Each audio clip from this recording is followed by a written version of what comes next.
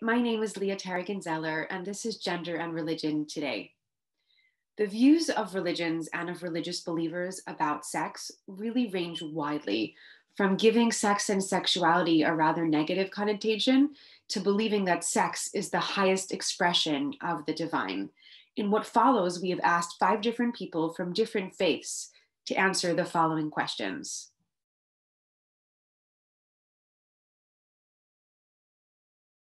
So I think in Judaism, I really feel a discrepancy between the stated intent and the reality. The stated intent is that Judaism really values physicality, the body, food, drink, enjoying the world. And being an ascetic like a monk is not a Jewish ideal. However, the reality is that sex is rarely talked about. And sometimes they'll say, well, that's all going to be left for the conversation you'll have in your pre wedding classes. But actually, my own experience was that even when I got to those pre wedding classes, sex as a topic was completely avoided. Uh, Islamically speaking, sex is a very sacred thing.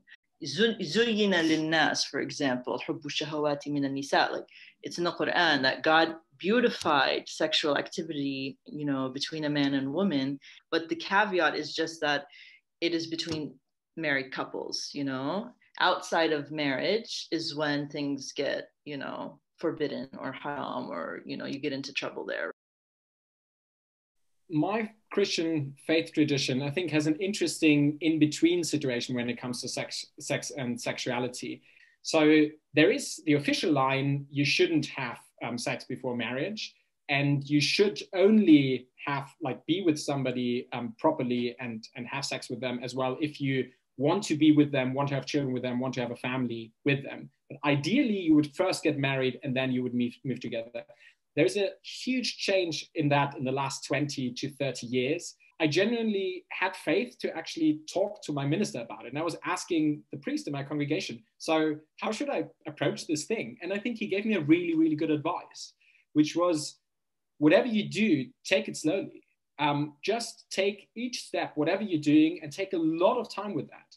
Um, you will you will benefit from that. And I think this is actually an advice that I find very useful so, sex and sexuality is a big issue within evangelical Christianity. And speaking specifically about white evangelical Christianity, there is a strong tradition of promoting sexual abstinence.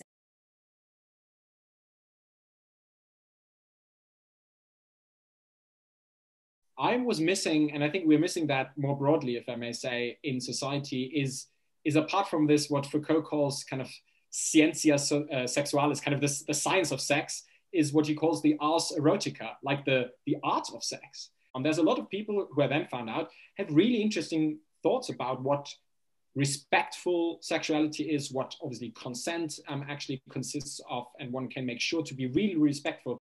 What I would like Judaism to see offer on sex and sexuality is a Jewish sexual ethic.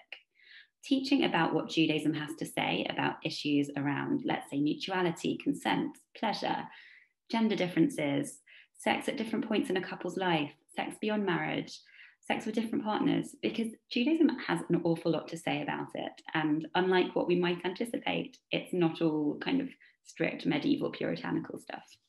You know, I think a lot of things that we take for granted as like religious ideas are actually more cultural. Um, so unfortunately, in Arab culture, there's a lot of like uh, shame around ideas of, of like sexuality. Mm. I never had any such conversations with either of my parents about my sexuality growing up. And I had to get most of that information outside of my family, you know? Um, so yeah, I, I, I, do regret that. And I do think that is something that um, Muslim parents should be aware of and should be better at, you know, uh, discussing with their kids we at our school actually didn't have any sex education. That wasn't something that was taught.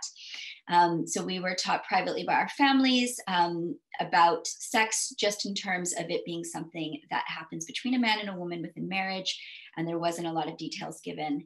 Um, and there was this very strong emphasis on heterosexuality.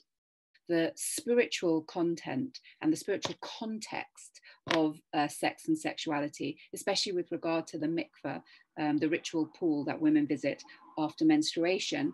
And the fact that there is a uh, ritual side to the sex uh, life of um, Orthodox Jews, I think, needs to be highlighted in terms of how it creates um, and uh, generates a relationship with God. Uh, to include God in, in, in one's relationship